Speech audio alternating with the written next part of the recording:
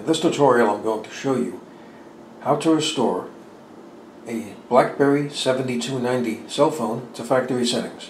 Okay, now using the scroll, go to Options, then press the scroll in.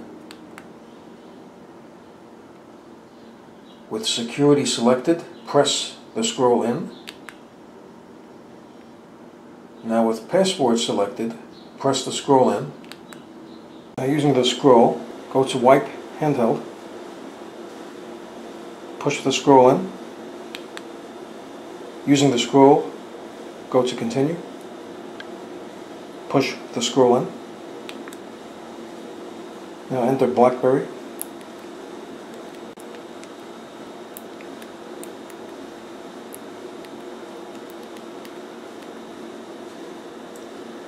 Press the scroll in.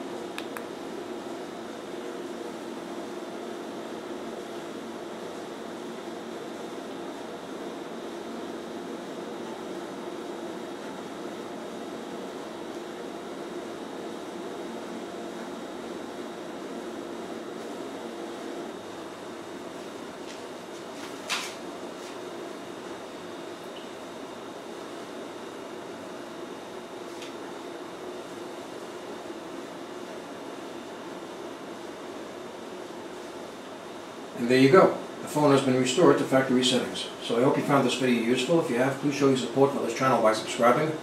Feel free to leave comments. Please like up this video, and thank you for tuning in.